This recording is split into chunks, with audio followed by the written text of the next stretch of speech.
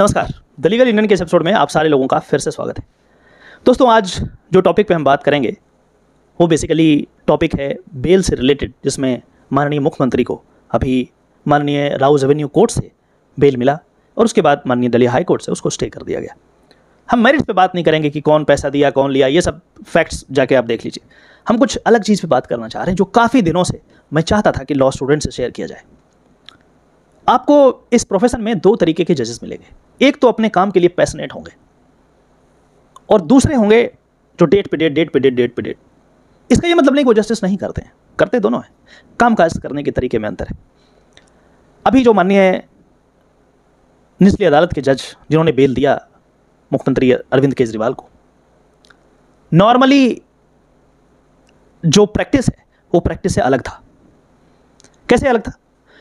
ये मेरा एक्सपीरियंस है कि जो वेकेशन जज होते हैं, अभी छुट्टी पे है कोर्ट, जो वेकेशन जजेस हैं, वो नॉर्मल केसेस को डील नहीं करते वो बस डेट दे देंगे डेट मास्टर क्या जी, जब रेगुलर कोर्स में जब कोर्ट बैठेगी तो वो सुनवाई कर लेगी।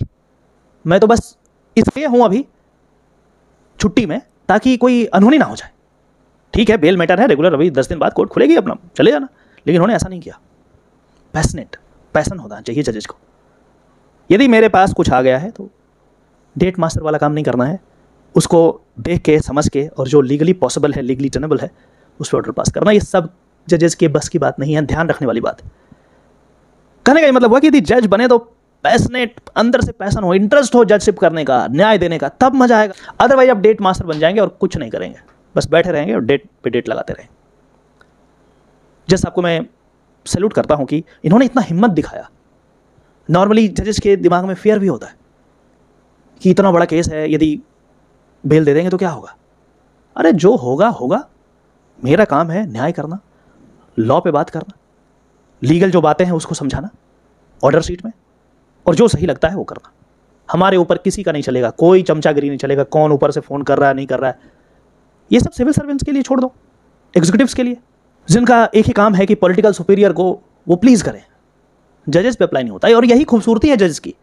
जजशिप की यही खूबसूरती है और यदि इसको निकाल दिया जाए तो ये जुडिशरी बिखर जाएगा, बर्बाद हो जाएगा। यही एक ऐसा चीज़ है जो यंग जो लॉ स्टूडेंट्स हैं, उनको प्रोत्साहित करती है कि वो आप जज बने। इंडिपेंडेंस और इंडिपेंडेंस होना बहुत ही ज़्यादा ज़रूरी है। आर्गुमेंट सुनेंगे दोनों का? और जो लगेगा, मुझे, मैं वही करूँगा। लेकिन उसके लिए भी आपके अंदर गट्स होनी चाहिए। वो गट्स यदि है तो आप लॉ में इंटरेस्टेड हैं। हो सकता है इसका रिवार्ड आपको बहुत खराब मिले। ऐसे जजेज हैं। उनको सुप्रीम कोर्ट में नहीं भेजा गया। ऑनरेबल जस्टिस मुरलीधर का एग्ज़ाम्पल ले लें। चीफ जस्टिस बने उड़ीसा हाईकोर्ट के। मेरिटोरियस जज लेकिन नहीं किया गया। लेकिन इसका यह मतलब नहीं कि आप जस्टिस से कंप्रोमाइज करेंगे। उसका ओथ आपने लिया है। जजेस आप ऐसे पोजीशन पे हैं कि ये सारी चीज़ें छोटी छोटी चीज़ें कि हमें एमपी बना देगा तो हमें एनएचआरसी में ये दे देगा, बहुत छोटी चीज़ है। अपने इंटीग्रिटी के साथ कभी कोई भी कंप्रोमाइज़ नहीं करना चाहिए। बहुत सारे लोग ये कमेंट कर रहे हैं कि ठीक है बेल तो दे दिया, नीचे से ऊपर से स्टे हो गया। अरे, हो गया तो हो गया, वो उनका काम है, वो हाईकोर्ट का पावर था, कर दिया। आपका क्या पावर था, क्या आपने किया? आपका क्या ड्यूटी था, वो आपने किया। बस उतना सही काम रखो। कई बार होता है आर्गूमेंट के दौरान कि yes I will I will you know appeal against this particular order this is so and so बेकार है, ये है, वो है। तो जैसा बोलते हैं, आपको जो करना है, कीजिए। मुझे उससे कोई फ़र्क नहीं पड़ता। मुझे जो सही लगा, मैंने किया। वो आपका राइट है, कर लो। जहाँ जाना जाओ हाईकोर्ट जाओ, सुप्रीम कोर्ट जाओ, प्रेसिडेंट के पास जाओ, जहाँ जाना जाओ। तो ये जो डिसीज़न है, वो सिर्फ़ लॉ पढ़ने से नहीं आता है। लॉ के साथ साथ आपका पर्सनालिटी आपका इंटीग्रिटी आपका ऑनेस्टी ये सारी चीज़ें जब अकुमुलेट होती है, तब इस तरीके के जजेस मिलते हैं आपको। और इस तरीके के जजेस मिलते हैं तो आपको उस तरीके का न्याय होता दिखेगा। न्याय सिर्फ़ होना नहीं चाहिए, दिखना भी चाहिए। ये सिर्फ़ किताबों में लिखने के लिए थोड़ी है।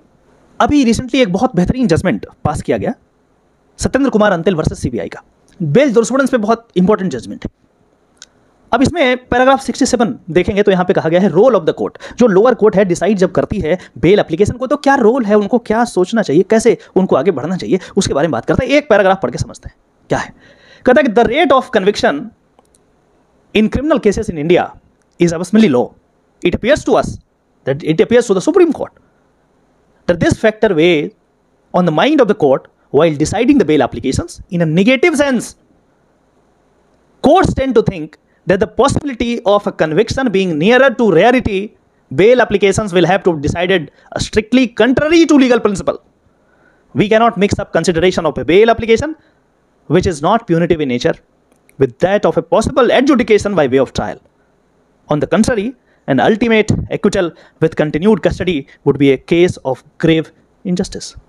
Hindi में समझा जाए तो इसमें कहा गया है कि देखो, जब बेल एप्लीकेशन आपके पास आए तो ये मत सोचो कि इसमें क्या होगा, इसका मेरिट्स क्या होगा ट्रायल में क्या होगा। जज को ये लगता है कि जी, ये छूट जाएगा बंदा एक्विटल हो जाएगा, इसलिए बेल पे इसको बेल ही ना दो, अंदर ही रखो। बोले, ये गलत है, ये ठीक बात नहीं है। बेल के स्टेज पे आपको बस इतना देखना होता है कि क्या प्राइमा फिसाई केस बन रहा है। और इन्वेस्टिगेशन यदि हो गया है तो इसका कस्टोडियल इंटरोगेशन क्यों रिक्वायर्ड है? What is need of custodial interrogation और यदि नहीं है तो इसको बाहर भेजो। ये मैं नहीं कह रहा हूँ, ये तो सुप्रीम कोर्ट कर रहा है। और उसी चीज़ का यदि कोई नीचे जज सेशंस जज मेट्रोपॉलिटन मजिस्ट्रेट यदि फॉलो कर रहा है तो क्या गलत कर रहा है? तो कहने वाली ये बात है कि आप चाहे एडवोकेट बने जज बने पैसन और इंटरेस्ट यदि आपका नहीं है तो इस प्रोफेशन में आप एक्सेल नहीं कर पाएँगे। सिर्फ़ एक चटुकार वकील या चटुकार जज बने I am sorry to use this word लेकिन ऐसे केसेस हैं। अब ये आप पे डिपेंड करता है कि दुनिया आपको एक फेयरलेस स्ट्रिक्ट स्ट्रॉन्ग जज के रूप में जाने, वकील के रूप में जाने, या फिर एक चटुकार वकील के रूप में जाने। चॉइस आपका है। कमेंट कीजिएगा कि आपको कैसा लगा ये चीज़।